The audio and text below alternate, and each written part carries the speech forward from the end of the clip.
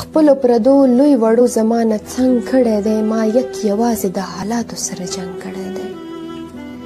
ما هر څه ولیدل ما ژوند ولیدو ما په غمونو کې ډیر خوند ولیدو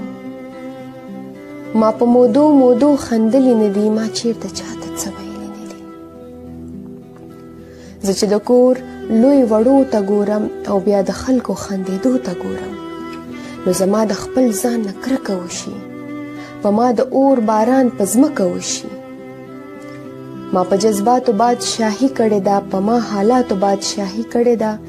یو مې معبود را سره مینه کړې بل مې وجود را سره مینه کړې نور خپل خپلوان زما نه لري تللي زما دوستان زما نه لري تللي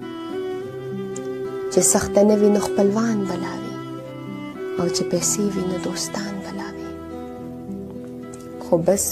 افسوس افسوس افسوس کوم زه د خپل ځانه دا تپوس کوم لارې دوه شوي دي زه چیرته لاړ شم چې ډېر زیات تنګ شم نو غر ته لاړ شم